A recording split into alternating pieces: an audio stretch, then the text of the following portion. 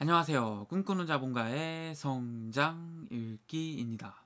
네, 오늘은 어제에 이어서 더 좋은 주식의 발견이라는 책을 가지고 우리가 주식에 대해서 좀 더 이야기를 해보도록 하겠습니다.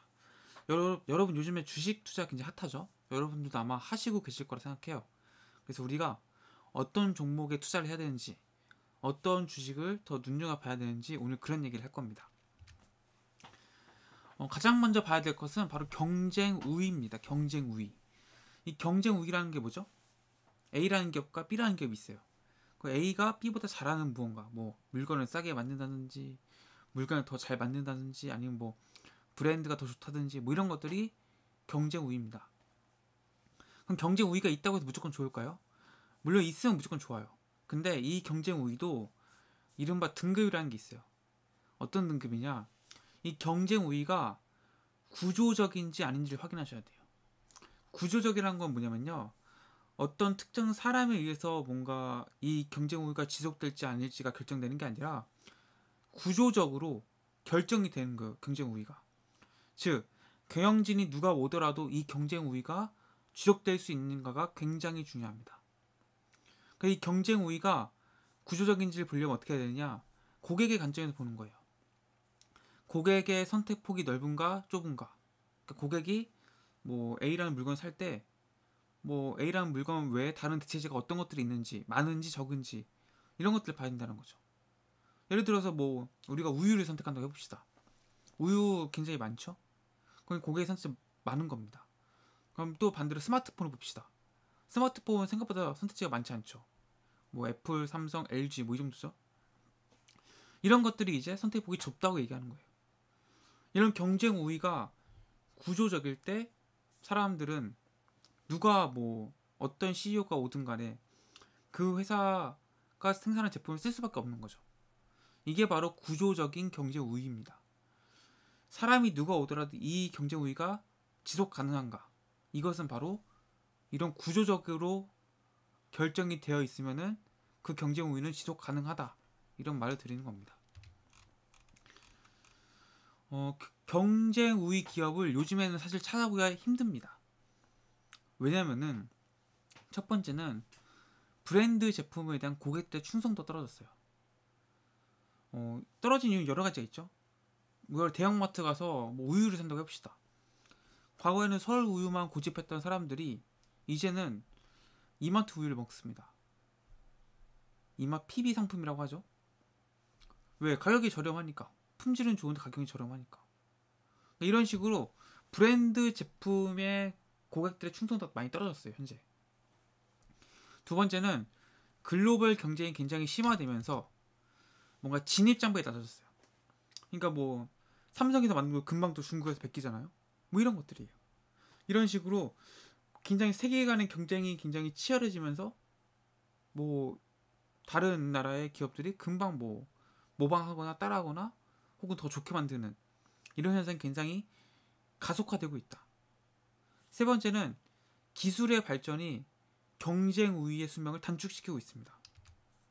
기술이 점점 발전하면서 카피가 쉬워지죠, 점점. 뭔가 금방 따라하는 게 굉장히 쉬워졌어요. 그러다 보니까 이제 이 경쟁 우위, 경쟁의 지속성이 점점 떨어지고 있다. 기술 격차라고 하죠. 그런 것들이 점점 떨어지고 있는 겁니다. 짧아지고 있는 거죠. 우리가 투자를 하면은 투자 성과를 봐야 됩니다. 얼마나 벌었냐 이거죠. 이 투자 성과가 언제 가장 많이 나오는지 아십니까, 여러분?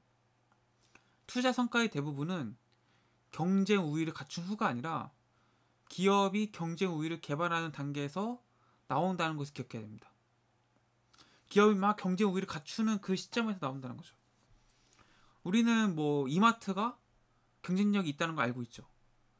하지만 투자자들이 큰 이익을 거둔 시점은 이렇게 지금 다 이미 경쟁에서 압도적으로 올라선 그 시점이 아니고 막 여러 가지 구축해 가던 경쟁 우위를 만들어 가던 그 시점에 가장 큰 투자 수익이 나더라는 겁니다.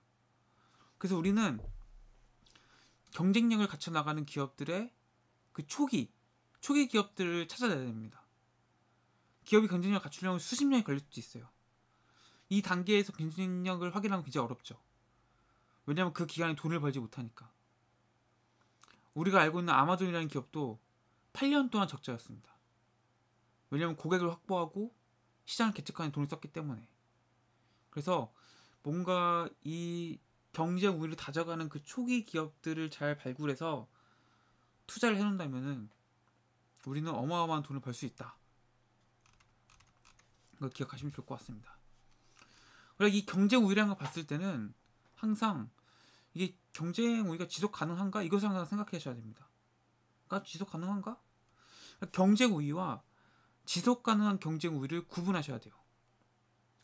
뭔가 좋은 고객 서비스, 우수한 인력 이런 것들은 분명히 경쟁 우위가 모두 맞습니다. 하지만 이 기업들 중에서는 경쟁자가 쉽게 따라할 수 있는 것들이 있습니다. 그러니까 좋은 고객 서비스 이런 것들은 경쟁자들이 쉽게 따라할 수 있어요. 반면에 뭐 우수한 인력, 건전한 조직 문화, 효율적인 생산 공정 이런 것들은 경쟁자가 따라하기가 어렵습니다. 그래서 따라하기 쉬운 경쟁 우위에는 뭐 예를 들면 뭐 어떤 게 있을까요? 뭐 어, 뭐 인터페이스 뭐 우리가 앱을 쓰잖아요. 앱을 뭔가 쉽게 만드는 거 고객들이 조작 편하게 만들어주는 거 이런 것들은 금방 베낄 수 있죠. 하지만 따라하기 어려운 것들은 뭐 브랜드 같이 코카콜라가 사람들이 계속 선택하는 이유는 코카콜라라는 브랜드가 있기 때문에 이 브랜드는 쉽게 따라할 수 없거든요. 콜라는 뭐 쉽게 만들 수 있을지 몰라도 이런 것들이 이제 경쟁 우위, 지속 가능한 경쟁 우위의 차이입니다. 우리가 또 이제 우리가 투자하는 기업을 볼 때는 그 기업이 가격 결정력을 가지고 있는지 봐야 됩니다. 이 스마트폰을 얼마에 팔지를 결정하는 것들이 뭐 그 기업에서 결정하는지 아니면은 고객에 의해서 결정되는지 이것을 잘 구분할 수 있어야 돼요. 가격 결정력을 가진 일반적인 기업들은 어떤 특징을 갖고 있냐? 높은 고객 유지율을 보여요. 고객들이 많다는 거죠. 이런 기업들은 가격을 기업에서 편하게 결정해요. 두 번째는 고객의 예산 중 제품 구입 비용이 차지하는 비중이 매우 작습니다. 고객의 예산 중 제품 구입 비용이 차지하는 비중이 매우 작다. 세 번째는 고객들이 수익성 높은 업종에 있다. 그리고 네 번째는 고객들이 가격보다 제품의 질을 중요시한다. 아무래도 질을 중시하면은 뭐 가격이 좀 비싸도 사겠죠. 이런 것들이 가격 결정력이 다 기업들에 있는 겁니다. 고객들이 예산 준 제품 구입 비용이 차지하는 비중이 작다는 것은 이런 거예요. 뭐 고객이 뭐 연봉 1억이라고 해봅시다. 근데 우유가 뭐 보통 2,000원인데 프리미엄 우유에서 5,000원을 받았어요. 뭐 1억인 입장에서는 이 우유를 사는데 제품 구입 비용 비중이 작죠. 이러면 비싸도 충분히 팔리기 때문에 가격 결정력이 기업에게 있다라는 겁니다. 우리가 기, 기업의 가격 결정 볼 때는 매출의 전체에서 가격 결정 갖고 있는지 아니면 일부 서비스에서만 가격 결정 갖고 있는지도 보셔야 됩니다. 예를 들어서 항공사의 경우, 에는 경쟁이 심한 노선에서는 경쟁이 아주 심한 노선에서는 이제 그 고객들이 이제 가격 결정 갖고 있는 거 많아요. 옆에 있는 기업 대비 싸야 되니까 막 눈치를 보는 거죠.